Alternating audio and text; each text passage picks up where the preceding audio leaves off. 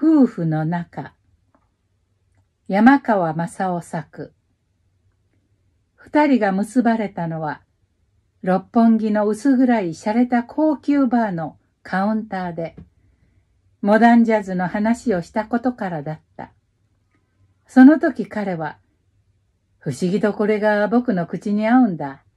と言いながら、アメリカ産のトウモロコシ製のウイスキー、I.W. ハーパーばかりを飲み、彼女は私はこれが私の体質に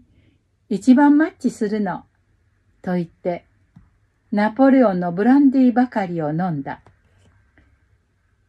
彼は飲むほどにいよいよ理知的となり、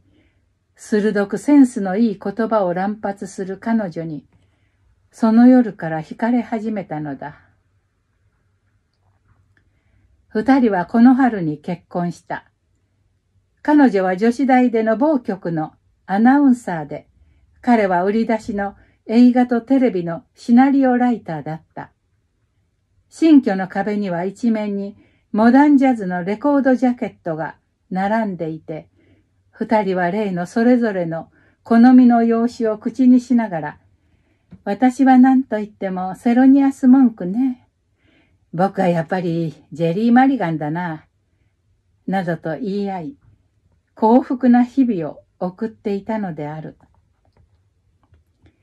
地方出身の彼にとって、それは夢のような毎日だった。が、時にはそれが、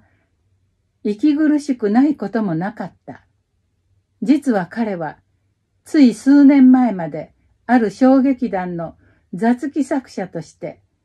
金にならない舞台劇の上演に、情熱を傾け、仲間たちとバスへの飲み屋で、二級酒や梅割りに酔っ払っていた演劇青年の一人だった。それがふとしたことから認められ、映画やテレビで大金が入るようになり、憧れの知的な女子大での妻を持つ身分となった。彼にはいわばいつも上品で知的で洗練された都会的な自分を演技しているような日々が続いていたのだった。だからそろそろ二人にとっては最初のお中元の季節が来て、アパートへの到来物の中に日本酒が一本あるのを見つけたとき、彼の郷愁は爆発した。飲もうと主張したのである。新妻は眉を潜め、こういうお酒は私たちの生活のムードに合わないのじゃないかしら、と反対した。結局彼女が折れたのは、酒屋に引き取らせても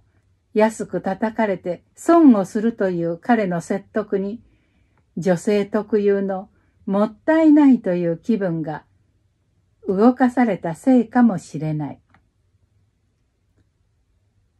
やはり久しぶりの日本酒の酔いは格別だった。いつの間にか彼はすっかり解放されたいい気分で気がつくと、